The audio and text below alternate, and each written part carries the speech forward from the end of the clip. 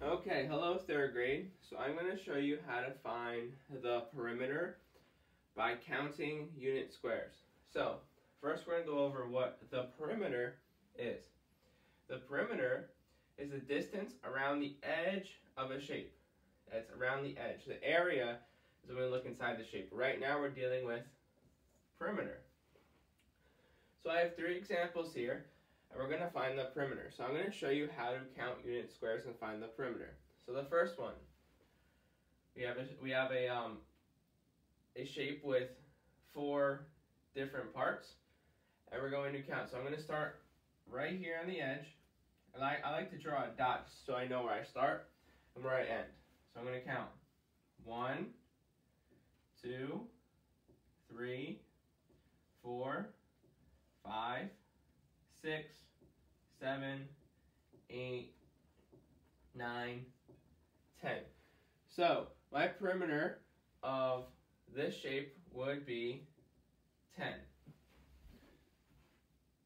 Now, I don't just say 10. When we go around, we call these units. So it's going to be 10 units. My next shape. Now I have a shape with 16 different parts. So 16 separate parts. So I'm going to find again the perimeter, which is the distance around the edge of the shape. So I'm going to start here in the corner, draw my dot so I know where I am. One, two, three, four, five, six, seven, eight, nine, ten, eleven, twelve, thirteen, fourteen, fifteen and then 16. So now we have 16, 16 what? 16 units. So I'm counting the perimeter. It's easier when you start at a point and then finish and count because you can actually count each different square. And then this one. Now sometimes different shapes, like this shape is different from this shape, but you're going to find out it has the same units.